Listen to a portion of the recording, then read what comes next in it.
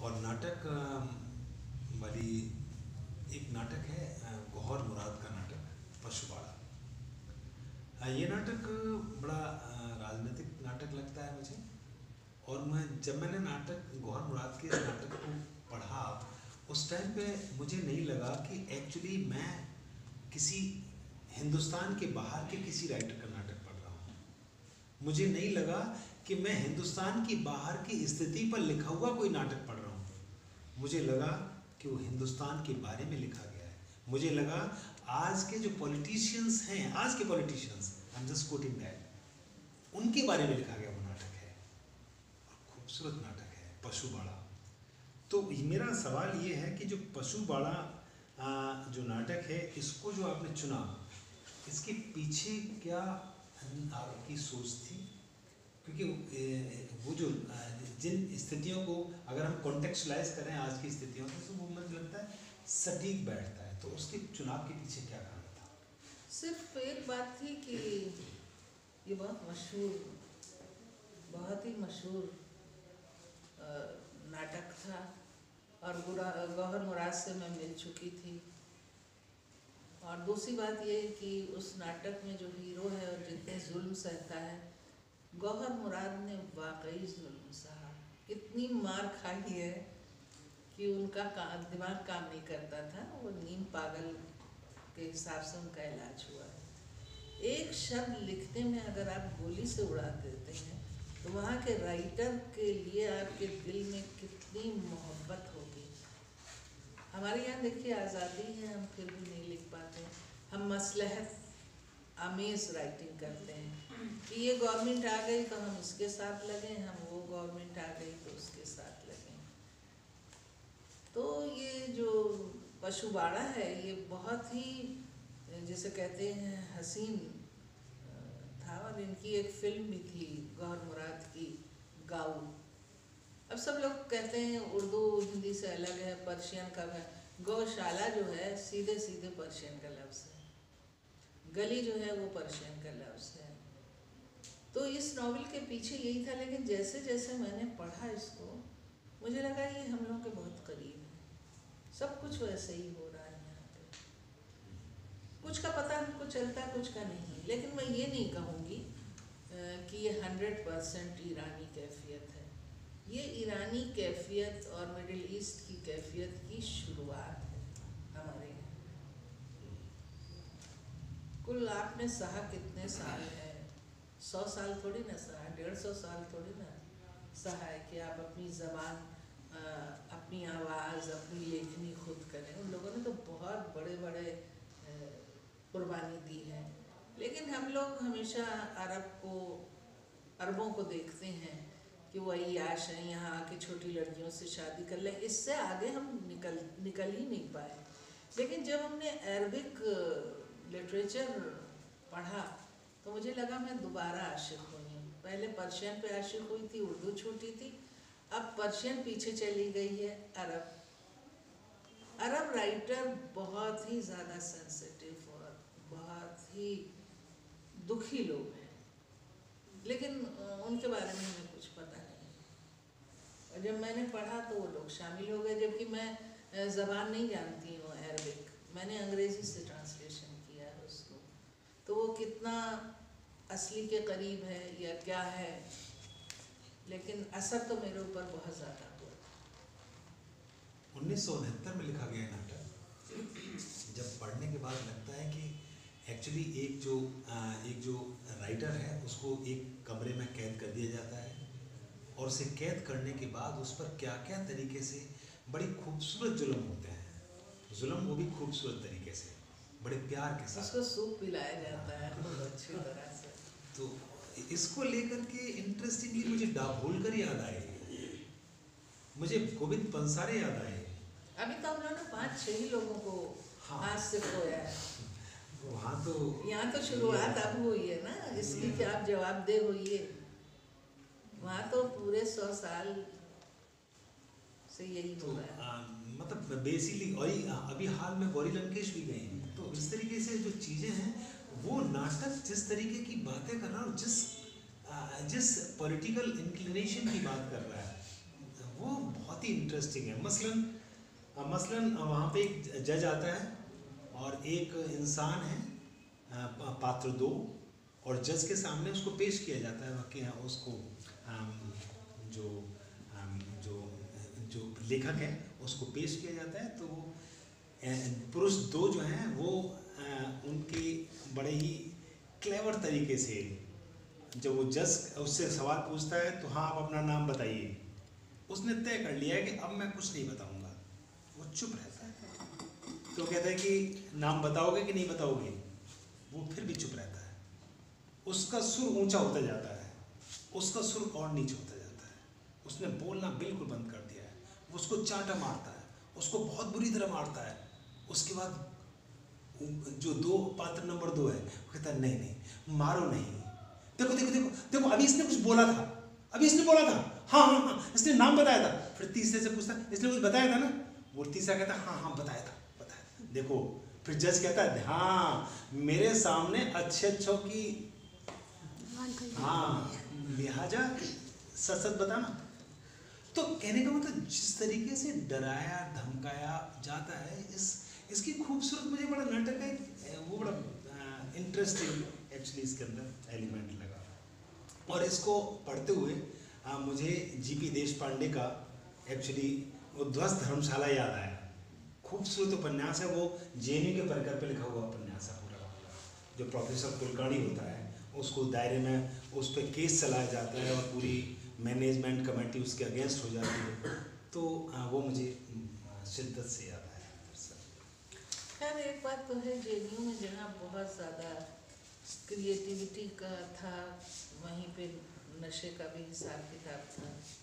एक तरफ़ ज़रा ज़रा सी बात के ऊपर जुलूस था और कहीं कहीं ऐसी बेईमानी थी कि आप थर्रा जाए।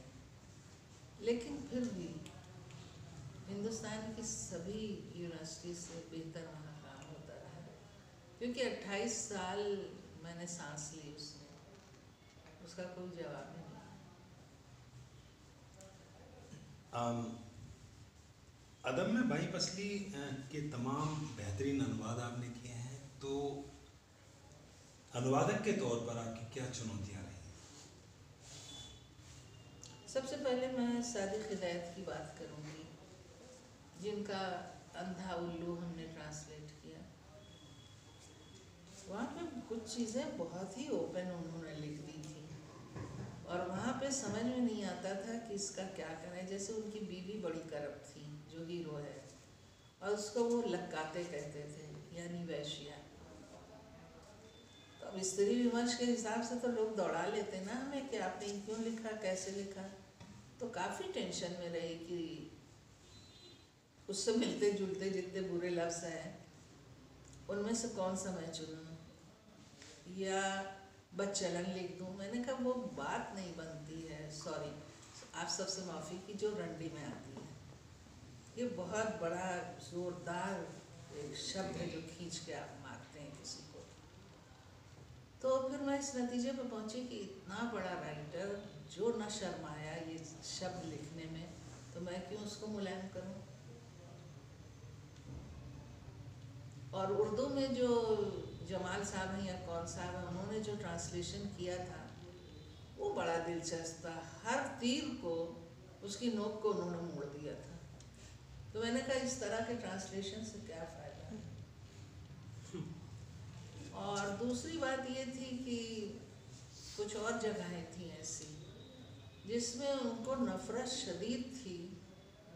उन लोगों से जो कहलाते तो घटिया थे यानी घटिया, गरीब, जो न ठीक से रहना जाने, न ठीक से पढ़ना जाने, उन्होंने उस शब्द को इस्तेमाल किया था उन लोगों के लिए जो पैसे के लिए सिर जीते अब मेरे लिए बहुत परेशानी थी कि मैं घटिया लिखूं,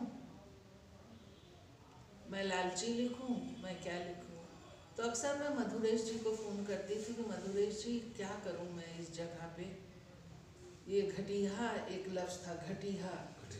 तो उसमें वो सब चीज़ें खूबी आ जाती हैं। जो चोर बाज़ार भी है धोखेबाज भी है टहलवा भी है। तो ये सब चीज़ें जो है ना कि जो उतनी ही गर्मी के साथ आपको आपके दिल पे और दिमाग पे असर करें। और एक जगह वो बहुत अजीब तरीके से मज़ाक उड़ाते हैं मर्दों के पूरे उसका। कि ये लोग ऐसे हैं, ये। वहाँ पे उर्दू वाले साहब ने अतड़ियाँ लफ्ज़ का इस्तेमाल कर लिया। मैंने, क्या गज़ब है। ये गुप्त अंग को अतड़ियों में तब्दील कर रहे हैं। तो वहाँ तो वही लिखना पड़ेगा ना कि आखिर ये किताब बैन क्यों होती है? आखिर ये किताब बुरी भली क्यों कहलाती है? क्योंकि उसमें वो कह रहे हैं कि मैं जो आतिश कदा को पूछता था मेरा दिल चाहता है कि मैं शिवलिंग कोई होगा मंदिर बॉम्बे में। अ, उसके खम्भों के नीचे ज़िंदगी बाकी गुजारूं अगर मैं दोबारा आया। ये नागवार गुजरा होगा लोगों को। अ, उसमें उन्होंने देवदासी के साथ शादी की। एक नाग का ज़िक्र लगातार आता है जो शिव के गले में नज़र आता है। फिर उसके बाद एक बोतल है शराब की, जिसके पीने से आप मर सकते हैं। वो शिव का ही जहर है जो उन्होंने पिया था। तो इतने ज़्यादा इशारे हैं हिंदुस्तानी कल्चर और ईरानी कल्चर को लेके। और यहाँ तक उन्होंने बताया कि कौन कौन सी दवाएँ कौन कौन सी चीज़ें हम एक साथ इस्तेमाल करते हैं। और वो हिंदुस्तान से ईरान को जाती थी। असली बात है सादिक हिदायत जो थे वो शाही ख़ानदान से थे। और जब शाही ख़ानदान का तख्ता पलटा और पहलवी आए, दूसरा रिजीम आई तो उसमें ये खोए खोए से रहे, क्योंकि उसमें पावर तो था कल्चर नहीं था। पहले वाले उसमें सियासत तो थी, लेकिन कल्चर के साथ थी। और ये पहलवी जानने वाले चंद लोगों में एक थे, यानी ईरान की पहली भाषा। इसमें इनका बहुत काम भी हुआ। तो पूरे नॉवेल में मौत का ज़िक्र है, सांप का ज़िक्र है, एक बूढ़े का ज़िक्र है, एक गुलदार का ज़िक्र है, एक ऐसी औरत का ज़िक्र है, जो शायद इनकी बीवी होगी मतलब हीरो की बीवी होगी, जिसका वो कत्ल करते हैं और उसकी लाश को ले जाके ये गाड़ देते हैं। वो पहली मरता जब हम वहाँ पहुँचे तो मैं परेशान हो गई कि किस किस्म का शादी हिदायत ने किया। यानी हत्या को ये, वो दिखा रहे हैं। उसकी कहानी लिख रहे हैं कि एक औरत को इन्होंने वो कर दिया। लेकिन उस आँखों के ज़रिए और बहुत सारी चीज़ों के ज़रिए वो कल्चर को पकड़ते हैं। और जब तक आप पढ़िएगा नहीं, तब तक मैं कुछ बता नहीं सकती, क्योंकि मैंने कल रात सोचा कि आपके लिए कुछ ना कुछ इसमें से पढ़ूं। मुझे लगा कि एक टुकड़ा पढ़ देने से कोई फ़ायदा नहीं, लेकिन इस नावल का जो पहला पैराग्राफ है, उसको ईरानी जबानी याद किए हुए हैं। और एक सच और भी मैं आपको बताऊँ, मैंने इस किताब में लिखा है कि बुफे कूर मुझे नहीं मिला, मैंने जर्मनी से मंगवाया। लेकिन जब मैं 2017 में ईरान गई तो सड़क पे वो नुस्खा पड़ा हुआ था, बुफे कूर का, जो पहली बार हमारे बॉम्बे में छपा। उन्नीस सौ, समझिए, छत्तीस में, तीस में उन्होंने शुरू किया था और बॉम्बे में रहे थे। और इतना ज़्यादा मुतासर थे और गोश्त खाने के ख़िलाफ़ थे तो गिया खूरी करके सब्ज़ी खाने पे इनकी एक किताब थी। और इन्होंने इस दुनिया को कोसा बहुत है तो लोगों ने कहा कि जो आदमी खुदा की बनाई दुनिया को कोस सकता है, वो घटे ही होगा तो उसमें बहुत सारे चैलेंजेस हैं जब आप पढ़िएगा। मेरे लिए नहीं, मैंने मौलवियों को और पंडितों को और वो सबको हिंदुस्तान में ऐसा बहुत लोगों ने लिखा है, जो बुरा भला कहते हैं।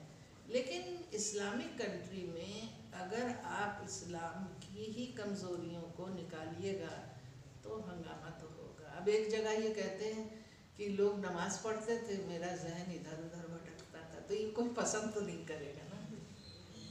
एक ख़ास किस्म के लोग। और गरीबी का इनका आलम ये था कि कहा जाता है कि जब इनकी किताब बहुत बिकी तो इनका यहूदी पब्लिशर था। उसने कहा कि चलो, इतना पैसा मुझे इनकी से कमाने, में इनको एक रेडियो दे दूँ। तो वो बड़े अरमान से रेडियो ख़रीद के गया।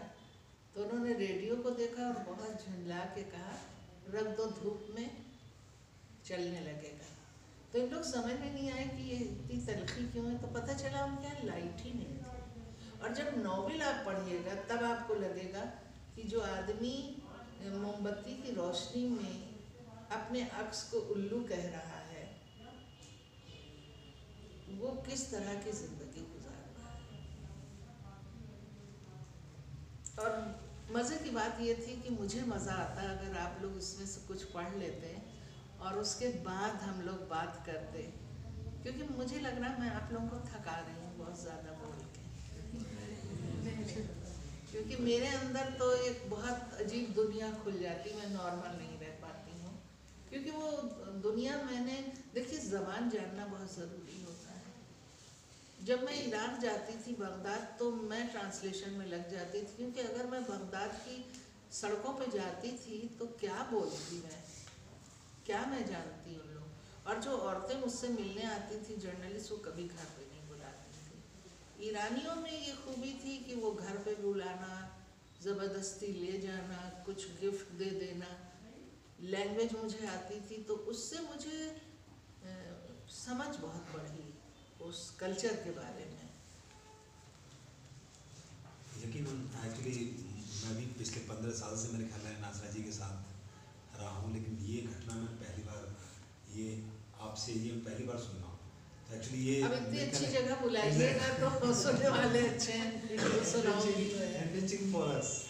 तो मेरे सवाल इससे जुड़ा हुआ ये है कि एक बेहतरीन अनुवादक हमारे में से बहुत सारे अनुवादक रहे हैं यहाँ पे करते हैं। तो बेहतरीन अनुवादक कब एक बेहतरीन अनुवादक हो सकता है? उसमें क्या क्या चीज़ें जो होनी चाहिए? देखिए मैं इतनी ज़्यादा काबिल औरत नहीं हूँ ऐसा अनुवादक कि मैं कुछ कहूँ लेकिन जो मेरा तजर्बा है कुछ लोग बहुत उखड़ी उखड़ी ज़बान लिखते हैं। और माफ़ कीजिएगा कुरान शरीफ जो है जिसका तर्जुमा है उसकी जानते हैं क्या है ग्रामर से? सब लोग उल्टा उल्टा ग्रामर करते हैं। वो करता है बहुत रहम। आप क्या दिल लगेगा? लगेगा दिल? नहीं और उसको रवानी के साथ लिखा भी नहीं जाता है कि भाई सीधा कर लो ना। अगर तुम नहीं, लेकिन कोई ज़रूरी है? तुम्हारा डंडा लिए तो कुरान शरीफ में जो अरबिक ग्रामर के हिसाब से चीज़ लिखी है, तुम उसको उर्दू और हिंदी के हिसाब से करो। उसी अंदाज से ज़्यादातर लोग तर्जुमा करते हैं, जो बहुत अमृत मेहता की एक किताब है। वो मैगज़ीन अपने से वो करते हैं और दुनिया भर के लोगों के को इनवाइट करते हैं कि जो सीधा ट्रांसलेशन करें। तो पिछली बार उन्होंने ईरानी कहानियाँ जो हमारी थी, उनको की थी और सबने जो ख़त लिखे और उनको पहुँचा कि ऐसा ट्रांसलेशन जो है, हमने इससे पहले नहीं किया।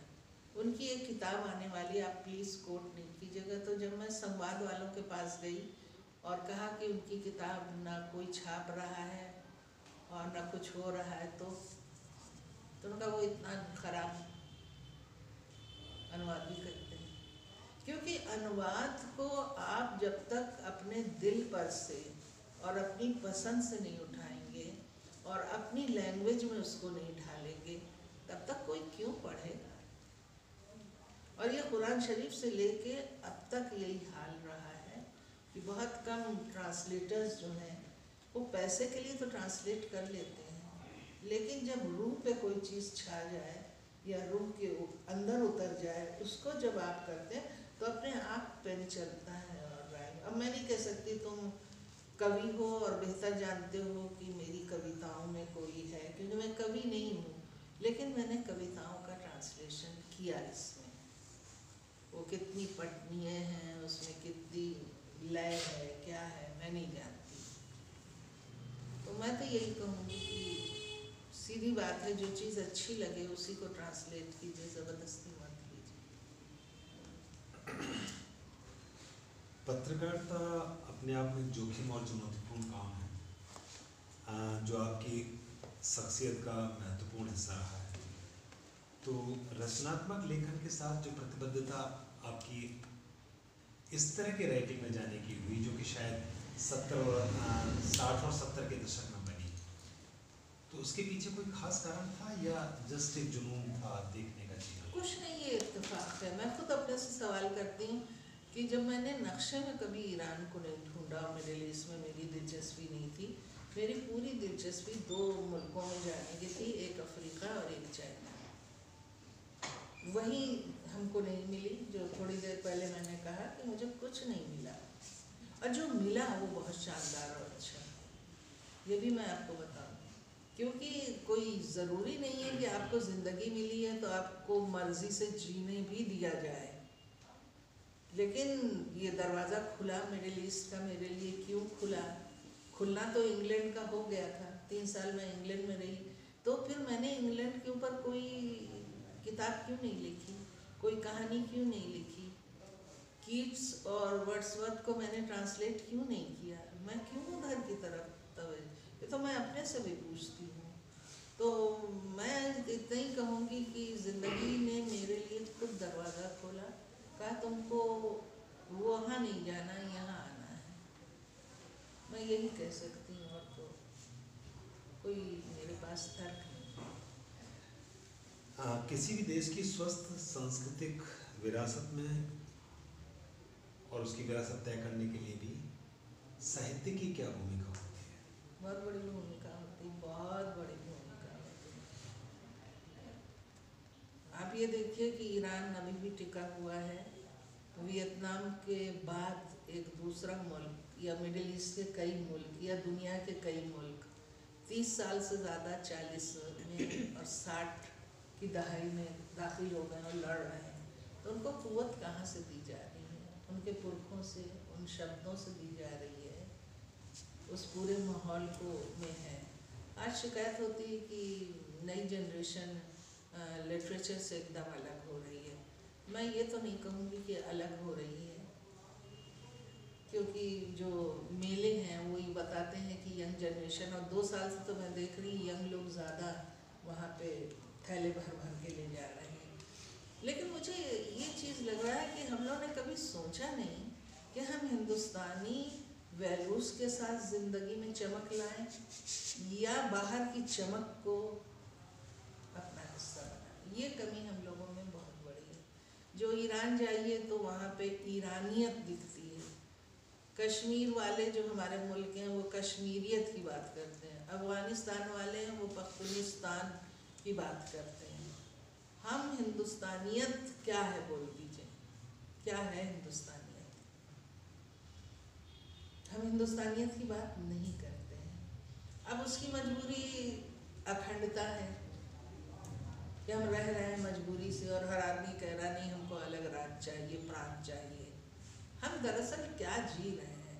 बाज़त, हम खुद परेशान हो जाते हैं, बहुत कॉम्प्लेक्स में आ जाते हैं।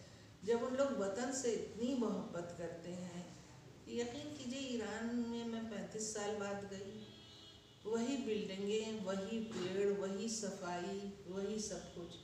जबकि वो क्या झेल रहे हैं? आर्थिक नाकाबंदी झेल रहे हैं। अपने उनके हवाई जहाज़ नहीं है, बेकारी है। सब कुछ है, लेकिन देखिए, पैंतीस साल से, तीस साल से अमेरिका से लगातार लड़ रहे हैं। हम किससे लड़ रहे हैं? किस चीज़ से लड़ रहे हैं? हम कभी हिंदुओं को दौड़ाते हैं कभी सिखों को दौड़ाते हैं कभी मुसलमानों को करते हैं हमारी एनर्जी कितनी ख़राब होती है। बहुत ज़्यादा है। तो लिटरेचर पे भी उसका असर आएगा। और इसीलिए जब आप पुरानी चीज़ों को पढ़ते हैं तो बहुत फ़र्क है। बाय द वे आनंद मठ की हमने बहुत वो सुनी आनंद मठ मैं सोचती हूँ कि मैं दस बारह साल की थी जब अपने घर की लाइब्रेरी अब उस आनंद मठ का क्या संदेश है, क्या है, क्या नहीं, मैं नहीं पढ़ती। लेकिन आनंद मठ इस तरह से लिखा गया था कि जो पेड़ों की छाव है, उसमें इन लोगों का, साधुओं का, उसका रहना। और अभी तक एक, वो उसमें लिखा हुई एक चीज़ याद है, हरे मुरारे मधु कैड भारे। इसका क्या मतलब मुझे नहीं पता, बीगा, वो कि मैंने कुछ वैसे पढ़ा नहीं में लेकिन कहीं पे तो उस नॉवल की ताकत थी ना। उससे वैचारिक रूप से हम एग्री करें या ना करें, आनंद मठ से। अब मेरे पास टाइम नहीं कि मैं दोबारा पढ़ूं और इस इस सवाल को करूँ, लेकिन वो क्यों मेरे दिमाग में ऐसे हो गई जबकि जितने भी प्रोग्रेसिव लोग हैं और ऐसे लोग हैं, वैचारिक तरीके से उसको कोई अप्रिशिएट नहीं करता है उसको। क्योंकि वो किताब अपनी जगह क्या है? और आज का जो बदला रूप है वैचारिक रूप में वो क्या है, इन दोनों में बहुत फ़र्क है, बहुत ज़्यादा फ़र्क हो गया है। और इस बात का अंदाज़ा आप लोगों को नहीं लगता, मेरा तो दो नाम है, नासरा शर्मा। मैं ऐसे क्लास से हूँ जहाँ हमला मेरे ऊपर नहीं होगा। लेकिन आप एक मतलब गौर कर लीजिए कि जो गलियों में रहते हैं, जो टिपिकल मुसलमान हैं, जो टिपिकल लिबास में उनकी जान किस तरह से शासक में है?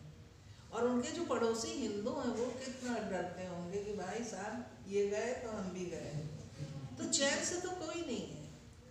कोई भी चैन से नहीं शायद 1980 और 70 या नब्बे में आते आते थोड़ा बिखरने लगा था।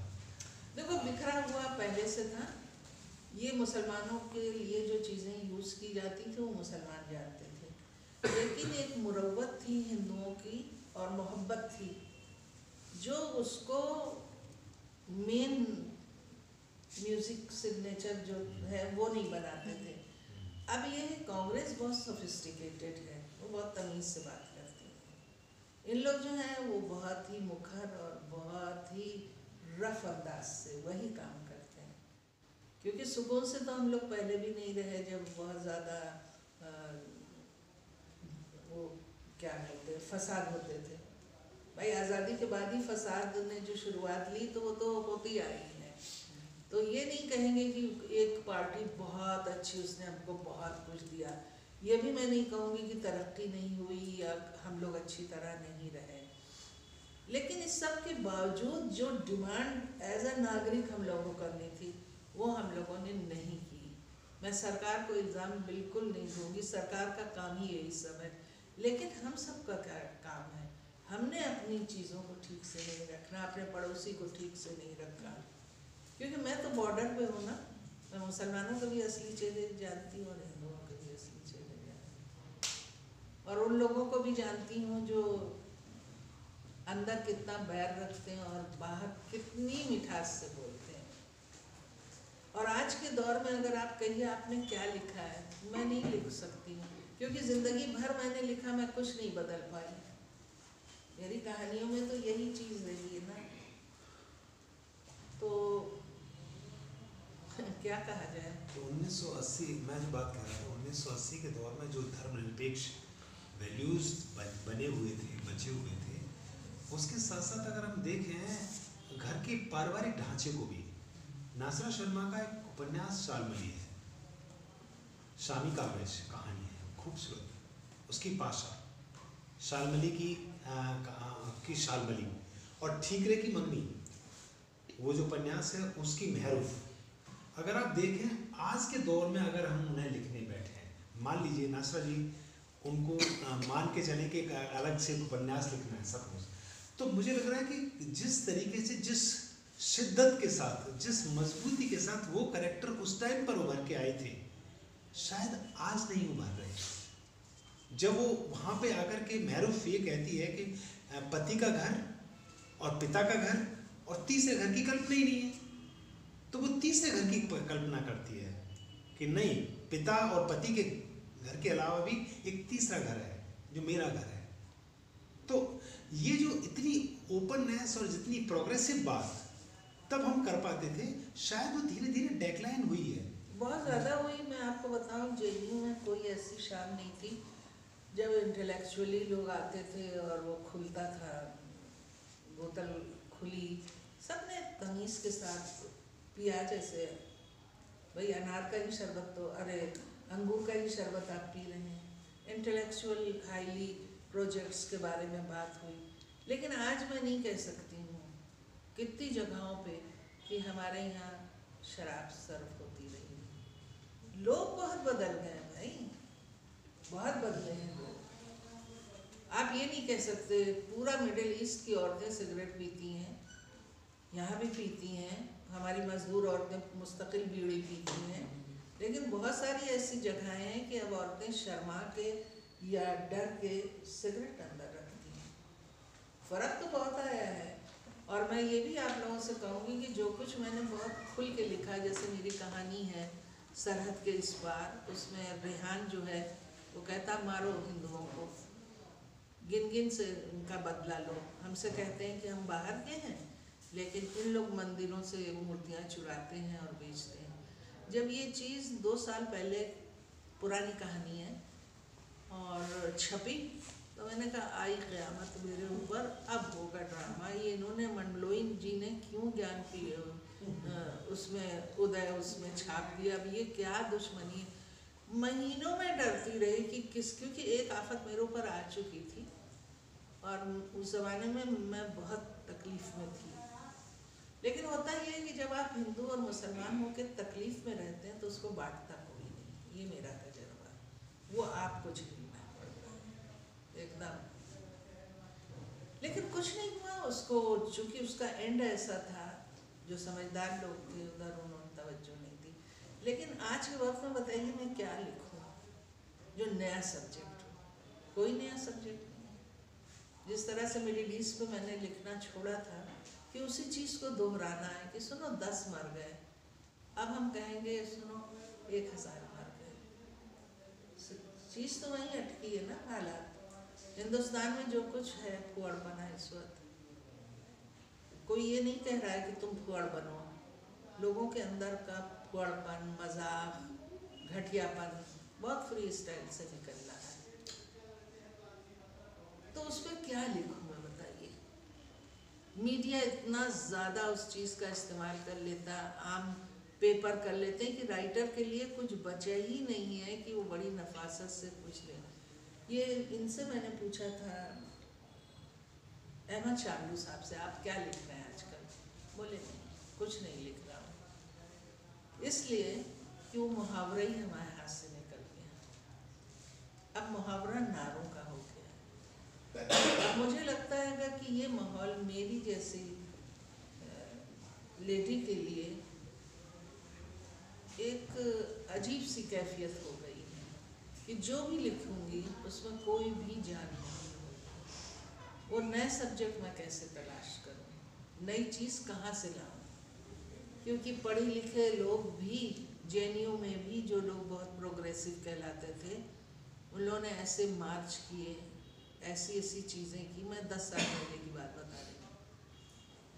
और लड़कियाँ जो मिलने आती हैं, उनकी लैंग्वेज पे गौर कीजिए कि एक लेडी लड़की आई उसने कहा कि मेरा दिल चाहता है कि मैं एक ज़ोर का चाटा मारूं उसको राहुल को। ये कोई लैंग्वेज नहीं है पढ़ी लिखी लड़कियों की बात करना। और कहा, मोदी, कितने सुंदर और कितने अच्छे दोनों बातों में कोई वो नहीं तुम नहीं और भाषा का एकदम खुलापन जो हो गया है, वो बहुत तकलीफ़ दे हो रहा है। ये कैसे सुधरेगा? और मुझे लगता है कि हमारे लिए बहुत ही तकलीफ़ दे टाइम आने वाला है। चाहे मौजूदा सरकार आए या कोई और आए। क्योंकि जिस हालात में हम लोगों को ला के पटका गया है, उसके लिए कोई भी हमारी दवा दारू नहीं हो सकती। तो क्या ये इसका मैं जो समझा हूँ कि ये जो मौजूद हालात हैं, इन हालात के चलते क्रिएटिव राइटर अपने लिखने का जो उसको मसौदा लेना चाहिए था वो उसको नहीं मिल पा रहा। नहीं मिल मुझे नहीं मिल पा रहा मैं हर एक की बात नहीं कर रही। क्योंकि देखिए सबसे बड़ी बात यह है कि लोगों के ऊपर एतबार हट गया है। कौन क्या है? अंदर से कैसा है? और जब मैंने लिखना शुरू किया था हिंदी वालों ने मुझे बहुत प्यार दिया। और एक ख़ास रेस्पेक्ट हिंदी वालों को ने नॉन जो हिंदी वाला था उसको इज़्ज़त अब हम लोग के कानों में ये पढ़ने लगा है कि अरे भाई हिंदी में लिखते क्यों इन लोग? इनाम मिलेगा। जब उर्दू में इनाम मिलता है नॉन मुस्लिम राइटर्स के लिए तो वहाँ नाम और धर्म नहीं होता, वहाँ उर्दू होता है। और उर्दू में आप देख लीजिएगा कि हर एकेडमी के इनाम में एक दो नॉन मुस्लिम क्योंकि बात जबान की हो रही है धर्म की नहीं हो रही। लेकिन आज ये थिंकिंग आ गई है कि लोग राइटर भी धर्म से अपने को जोड़ पा रहे हैं। और वो राइटर्स जिनको कोई पूछता नहीं था, उन्होंने इन दिनों कितनी तरह के इनाम ले लिए, कितनी तरह की फैसिलिटीज़ ले ली, और किस तरह से हकारत से संजीदा राइटर्स को देखते हैं। तो ये सब हमारी गलती है। ये सब हम लोग की कि हम लोग किस तरह से अपने ही नागरिकों को, अपने ही साथियों को वो रेस्पेक्ट नहीं देते। जिस दिन हमने ये करना शुरू कर दिया, कोई माई का लाल ऐसा नहीं है जो कोई भी फसाद करा सके या कुछ इस तरह की। देखिए, ईरान के इनकलाब में मैंने देखा बहुत बुरी तरह की लड़ाई वैचारिक स्तर पे। तो वैचारिक स्तर पे थी ना? मुजाहिदीन और फिदाइन और हिजबुल्लाहियों में। ठीक है? पहले दोस्ती की। दोस्ती करके सबके चेहरे पहचाने, उसके बाद सफ़ा कर दिया सबको। और मौलवी आ गया। मौलवी अच्छा कर रहे हैं, इसलिए कि डेवलपमेंट हो रहा है, लड़ रहे हैं। अमेरिका के खिलाफ उनकी लड़ाई उतनी ही है। जितने कम्युनिस्ट हैं, वो कल्चर पे आ गए हैं। अब उनके पास कोई ऐसा नहीं तो उसी तरह तो हम लोगों को बनाया जा रहा है ना, कि हम लोगों को ना हो, हम लोग सुबह उठते ही कहें, आधार कार्ड, पैन कार्ड, और कौन सा कार्ड है? एक फला कार्ड। आपके यहाँ ये हुआ है कि नहीं फला? आप बैंक की चीज़ भरते भरते भरते भरते इतना थक जाते हैं। इस आसान सी ज़िंदगी हम लोगों की थी, कितनी पेचीदा बन गई। आखिरी सवाल। आज की आलोचना को आप किस तरीके से देखते हैं। कोई संजीदगी नहीं उसमें। मैं नहीं मानती हूँ लेकिन जो लोग गुमनाम हैं वो बहुत अच्छी आलोचना करते हैं। लेकिन जो बड़े लोग हैं वो खेमे के ज़रिए करते हैं। या उन्होंने एक पब्लिशर को ले रखा हमारे पब्लिशर चले गए एक पब्लिशर को रख रखा है जो कुछ गिने चुने लोगों की मतलब जो चीज़ नहीं है, मैं आपको बताऊँ कि आखिरी बार जब मैं कृष्णा सोपती जी से मिलने गई दो महीने या ढाई महीने पहले तो उन्होंने एक शिकायत की, मैं नाम यहाँ नहीं लूँगी, कि जो कुछ छपा है इस नावल के बारे में वो मेरी भाषा नहीं है। और जो लड़की उनको वो सर्व करती थी ना, उनकी देखभाल करती थी उसने कहा, मैडम, सही कह रही, मैडम, इतनी बेचैन हुई थी, इतनी परेशान हुई थी कि इस तरह से प्रकाशक से उन्होंने शिकायत भी की थी. तो अगर कृष्णा सोपती की राइटिंग में, चूँकि वो मौत के करीब जा रही थी, खिलवाड़ हो सकता है तो आप सोचिए कि और लोगों के में हो गया। वो उस किताब का भी बहुत ज़्यादा नाम के खिलाफ थी कि आज के दौर में इस नाम को क्यों रखा? और उस किताब को जितने भी आलोचकों ने जो दूसरे आलोचक थे, उन्होंने पढ़ा, कहा, इसमें कोई ऐसी बात नहीं है, और ये कृष्णा दी ने लिख कैसे दी? तो अब इससे ज़्यादा तो मैं कुछ नहीं कह सकती हूँ। और मैं आपको ये भी बताऊँ कि इस किताब के बारे में खुले हाथ से ही बांटी गई। और मैं कहती रह गई कि उन लोगों को दीजिए जो इस एरिया में इंटरेस्टेड हों। तो जब पब्लिशर से हम कहते हैं, फला जगह भेज दीजिए, वो कहते हैं, बहुत भेजा। तो वो अपनी जगह ठीक है। लेकिन एक, आप यकीन करेंगे, एक, आलोचना के अलावा इसके ऊपर कुछ भी नहीं लिखा इन लोगों ने वो किया कि अभी ऐसे ऐसे राइटर्स को बुला के लेखक से मिलिए, करवा रहे थे कि शर्म आ रही थी उसके पीछे का क्या है फलसफा?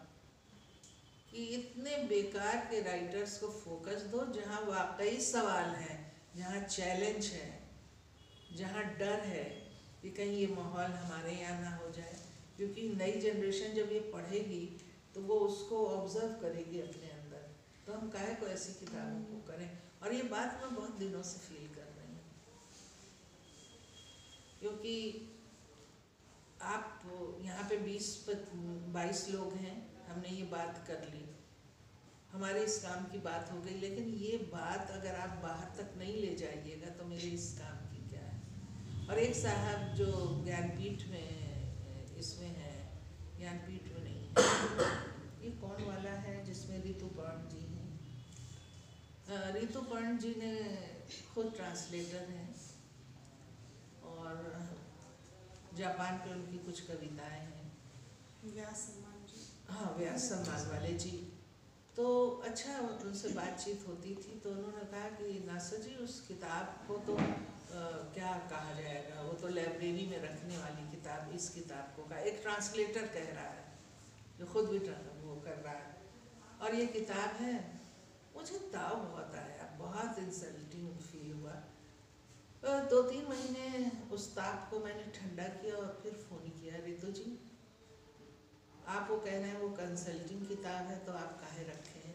अगर पूरा न मानिए और कोई और मतलब न लीजिए तो वो वापस कर दीजिए मैंने वापस कर लिया। मृदुला जी ने देखा, उस पर कोई रिमार्क नहीं कहा मैंने कहा, मृदुला जी, अगर वो बोझ लग रही है या आप पढ़ नहीं है हर हालत में मुझे वापस कर दीजिएगा। मैं क्यों इसको इस तरह से हो जिसके ऊपर पब्लिशर का पैसा गया है जिसका कवर बहुत कुछ कह रहा है। बहुत कुछ इस कवर के पीछे आप किताब पढ़िएगा तो पता चलेगा। तो फिर आपको रफ होना पड़ता है और आपको कहना पड़ता है कि नहीं आप आप वो कीजिए ही ना छूइए ही ना वो। मैं क्या कह सकती हूँ। एक्चुअली मन तो कर रहा है, बातचीत करते जाए करते जाए, लेकिन समय की भी सीमा है। हम चाहेंगे कुछ चीज़ें हम नासा जी से सुने। कविता है या कहानी, जो भी है। मुझे लगता है, पता नहीं क्यों मेरा पहले से दिल है।